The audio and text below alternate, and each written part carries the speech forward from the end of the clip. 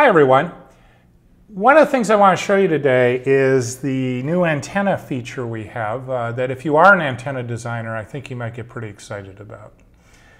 When you're making antennas, for example, in communication systems, uh, say a phased array, or say a single antenna with multiple feed points, you are doing this probably to steer the beam. Now to do that, you have to put a different amplitude and phase into each port of the antenna so the beam steers. Well, that means a power amplifier, so it really should be included in the simulation. Furthermore, if the beam steers, the input impedance to each port changes. And guess what happens with a power amplifier? Its performance depends on the impedance of the ports it's coupling to. So we have a situation here where we have a power amplifier and an antenna system coupling together. The circuitry and the antenna talk back and forth. With this new feature called in situ antenna measurements, we actually can model that for you. In this example you're seeing right here, I've simplified our problem a little bit and I'm not showing you a full power amplifier. Uh, I'm just showing you a power source and over here on the left this port 1 uh, is just that. It's 0 dBm or 1 milliwatt of power. We go through a splitter so we're going to be putting equal power into each of the two lines. This phase shifter changes the phase relative of one line's phase to the other and this is what will allow the pattern to change. And we come into the antenna over here on the right. Uh, the antenna I'm going to show you in a second is a single antenna. It's uh, concentric patches, one above the other, rather typical in these communication type systems. Here is the antenna, the 2D version of it. Uh, notice, for example, there are two ports here, ports 1 and 2.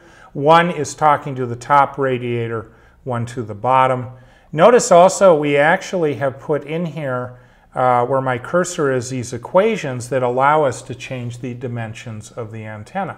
So one thing the designer could be doing is making the antenna larger, smaller, changing the thickness of the substrate, etc., for example, to meet some optimization goals. Let's take a look at the 3D picture, and I've also am showing you the antenna pattern here uh, for a given excitation.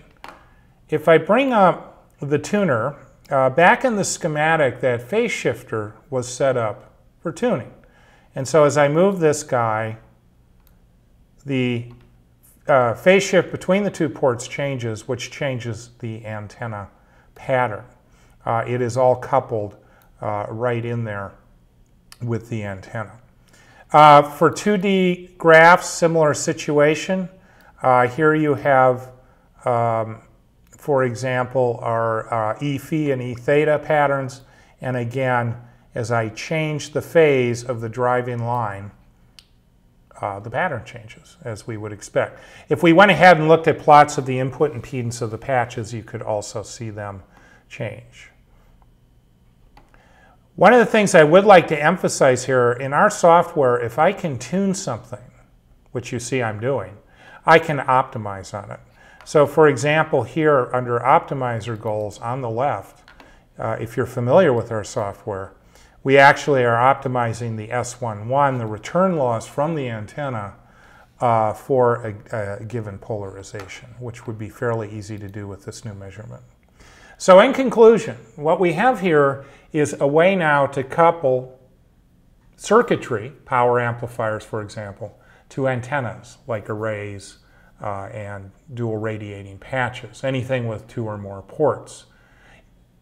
The pattern affects the amplifier, the amplifier affects the pattern. It's all coupled together and we can easily now uh, work with that situation. Thanks a lot everyone. Have a great day.